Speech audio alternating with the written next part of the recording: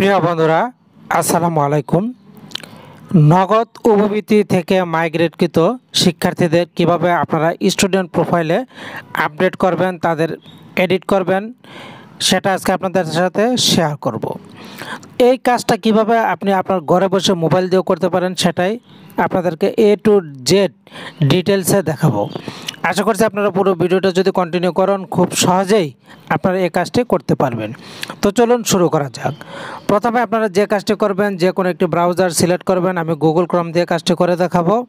Google ক্রমে আমি একটি প্রেস করে দিলাম। ঠিক এরকম ইন্টারফেস চলে আসলে আপনারা চলে যাবেন সার্চ বারে সার্চ বারে গিয়ে আপনাদেরকে ওয়েবসাইটের ঠিকানাটা লিখতে হবে। আপনারা লিখবেন সি তারপরে লিখবেন ভি ভি আর এস। এরপর বন্ধুরা এখানে দেখুন চলে এসেছে। আপনারা পুরো যে ঠিকানাটা লিখবেন C R V S DPE dot gov dot BD দুই হাজার তেইশ জাস্ট এখানে একটি প্রেস করে দিবেন। প্রেস করে দেওয়ার পর এখানে এরকম এন্টারপ্রেস চলে আসলে প্রথম যে অপশনটি চলে এসেছে প্রাইমারি স্টুডেন্টস প্রোফাইল এই অপশনটি জাস্ট এখানে আপনারা একটি প্রেস করে দিবেন। তো আমি এখন এখানে একটি প্রেস করে দিলাম। প্রেস করে দেওয়ার পর আপনার সামনে ঠিক এরকম একটি ইন্টারফেস চলে আসবে। এরকম একটি ইন্টারফেস চলে আসলে প্রথমে আপনাকে এখান থেকে যে কাজটি করতে হবে, সেটা হচ্ছে অনুগ্রহপূর্বক লগ করুন। লগ করার জন্য আপনাকে আপনার ইমেল অথবা মোবাইল নাম্বার দিতে হবে। এছাড়া আপনার পাসওয়ার্ড দিতে হবে, তারপর লগ প্রেস করতে হবে। এখন কথা হচ্ছে আপনি কীভাবে লগ করবেন। লগ ইন করার জন্য আপনি তো আপনার মোবাইল নাম্বার দিলেন, কিন্তু পাসওয়ার্ড কি দিবেন? এখানে আপনি যে পাসওয়ার্ডটা দিবেন, সেটা হচ্ছে আপনার ইপমিসে যে পাসওয়ার্ডটা ব্যবহার করেছেন, সেটাই দিবেন। দেওয়ার পর লগ করতে হবে। তো লগ করার পূর্বে আপনাকে যে কাজটা করতে হবে, এখানে অবশ্যই চলে যেতে হবে থ্রি ডট থ্রি ডট অপশনে প্রেস করে দিবেন। এরপর আপনার এই মোবাইলটাকে ডেস্কটপ সাইট করে নেবেন। তো এখান থেকে এই যে লক্ষ্য করুন ডেস্কটপ সাইট দেওয়া আছে জাস্ট এখানে একটি টিক দিয়ে দিবেন। আমি ডেস্কটপ সাইট করে নিলাম, করার পর ঠিক এরকম ইন্টারফেস চলে আসলো। চলে আসার পর এবার আমি লগ ইন করব। লগ ইন করার জন্য আইডি পাসওয়ার্ড দিয়ে লগ ইনে প্রেস করলে হবে। তো আমি লগ ইন করে আপনাদেরকে দেখাচ্ছি। তো বন্ধুরা, লক্ষ্য করুন, এখানে কিন্তু আমি লগ করে ভিতরে প্রবেশ করেছি। আপনারা যখন লগ করে প্রবেশ করবেন, আপনাদের সামনে ঠিক এরকম ইন্টারফেস চলে আসলে আপনারা প্রথমে এখান থেকে যে কাজটি করবেন, এখানে উপরে পেয়ে যাবেন থ্রি লাইন্স নামের একটি অপশন এই যে থ্রি লাইন্স অপশন জাস্ট এখানে একটি প্রেস করে দিবেন।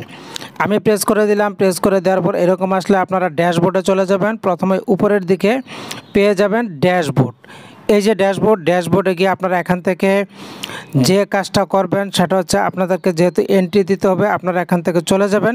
শিক্ষার্থী ম্যানেজমেন্ট নামের একটি অপশন এখানে একটি প্রেস করে দিবেন। তো আমি শিক্ষার্থী ম্যানেজমেন্টে প্রেস করে দিলাম, এরপর আপনাদেরকে যে কাজটি করতে হবে, এখানে আপনারা যারা নতুন শিক্ষার্থী দু হাজার তেইশ সালে এন্ট্রি দিবেন, তাদেরকে শিক্ষার্থী নিবন্ধন নামের অপশনটি এখানে প্রেস করে নতুন শিক্ষার্থী এন্ট্রি দিতে হবে। তো আমরা যেহেতু মাইগ্রেটকৃত শিক্ষার্থী এন্ট্রি দেবো, সেজন্য আমাদেরকে যে কাজটা করতে হবে সেটা হচ্ছে চলে যেতে হবে। অনিবন্ধিত শিক্ষার্থীর তালিকা আপনারা এই অপশনটি এখানে একটি প্রেস করে দিবেন। তো আমি প্রেস করে দিলাম প্রেস করে দেওয়ার পর অপেক্ষা করবেন পেজটি লোডিং হতে সময় নিতে পারে। আর বন্ধুরা, ভিডিওটি ভালো লাগলে অবশ্যই একটি লাইক কমেন্ট দিয়ে কিন্তু শেয়ার করবেন। তো লক্ষ্য করুন, এই যে চলে এসেছে। এখানে আসার পর আপনাদেরকে যে কাজটা করতে হবে, এই তালিকা থেকে আপনারা এখানে দেখতে পাচ্ছেন দশ। প্রয়োজন আপনারা এখানে প্রেস করে এটাকে একশো করে নিতে পারবেন। এই যে ধরুন আমি একশো সিলেক্ট করে দিলাম। একশো কিন্তু চলে এসেছে। এরপর যখন এখানে লক্ষ্য করুন। ভালো করে খেয়াল করুন, এখানে কিন্তু বন্ধুরা আমার কোনো শিক্ষার্থীর নাম নেই, কোনো তালিকা নেই। এর কারণ হচ্ছে আমার কিন্তু এখনও ট্রেনিং হয়নি, যার কারণে আমাদের তালিকাটা এখানে আসেনি। তো আপনারা যারা ট্রেনিং করেছেন, তারা কিন্তু এই তালিকাটা পাবেন। তো আপনারা এখান থেকে করে নিতে পারবেন। তো আমি এখন আপনাদেরকে দেখাবো নতুন শিক্ষার্থী কীভাবে নিবন্ধন করবেন। নতুন শিক্ষার্থী নিবন্ধন করার জন্য জাস্ট আপনারা এখান থেকে ব্যাগে চলে যাবেন। ব্যাগে যাওয়ার পর আপনারা আবারও চলে যাবেন থ্রি লাইন্স অপশন প্রেস করার পর আপনারা আবার চলে যাবেন শিক্ষার্থী ম্যানেজমেন্টে যাওয়ার পর পুনরায় শিক্ষার্থী নিবন্ধন অপশনটি এখানে একটি প্রেস করবেন। প্রেস করার পর আপনার সামনে ঠিক এরকম একটি ইন্টারফেস চলে আসবে।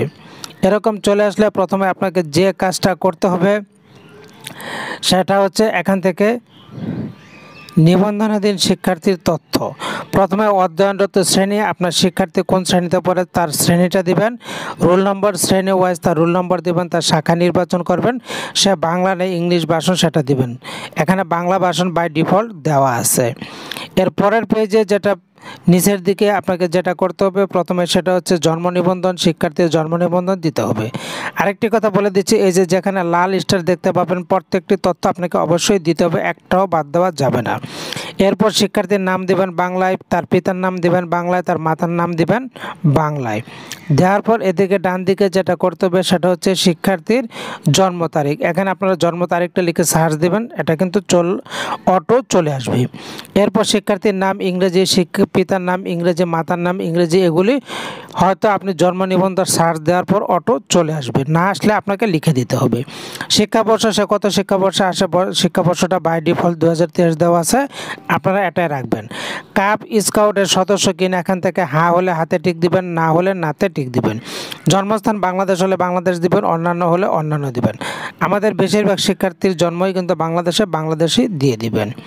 এরপর প্রতিবন্ধকতা, শিক্ষার্থীর যদি কোনো প্রতিবন্ধকতা থাকে, তাহলে আপনারা এখানে দিবেন সমস্যা। এই যে এখানে ড্রপ ডাউন বার আছে, এখানে প্রেস করে সমস্যা থাকলে সমস্যা দিবেন, না থাকলে সমস্যা নেই দিবেন। রক্তের গ্রুপ থাকলে অবশ্যই রক্তের গ্রুপটা এখান থেকে সিলেক্ট করে দিয়ে দিবেন। ধর্ম দিবেন, তার ধর্ম সে কোন ধর্মের অনুসারে দিয়ে দিবেন, জাতীয়তা বাংলাদেশে বাই ডিফল্ট দেওয়া আছে, এটা চেঞ্জ করার দরকার নাই।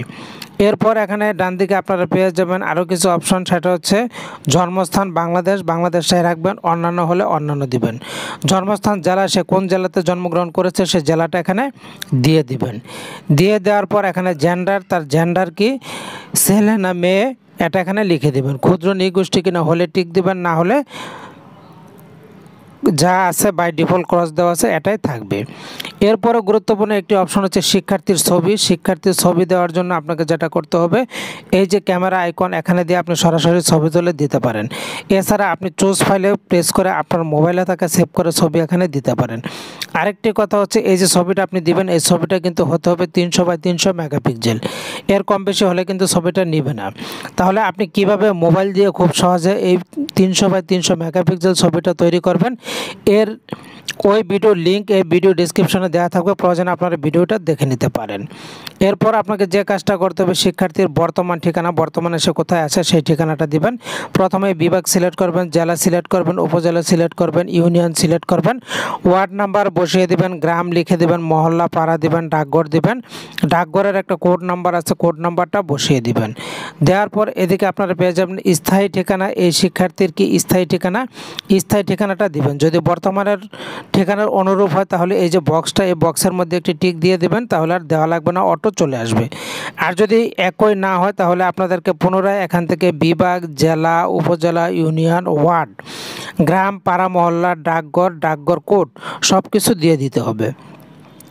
এই সব কিছু দিয়ে দেওয়ার পর আপনাকে যে কাজটা করতে হবে, এখানে পরবর্তী নামের একটা অপশন পাবেন। এই পরবর্তী অপশনে প্রেস করে দেবেন।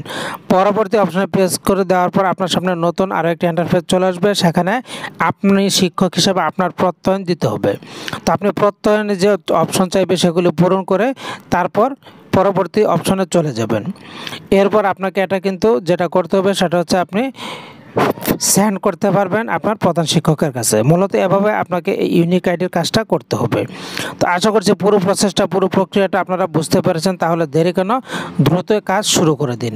আরেকটি বিশেষ কথা বলে দিচ্ছি, যতক্ষণ পর্যন্ত আপনার বিদ্যালয় থেকে কোনো শিক্ষক ট্রেনিং না করবে, ততক্ষণ পর্যন্ত কিন্তু মাইগ্রেটকৃত শিক্ষার্থীর তালিকা আপনি দেখতে পাবেন না। তো বন্ধুরা, আশা করছি পুরো বিষয়টি বুঝতে পেরেছেন। ভালো থাকুন, ধন্যবাদ।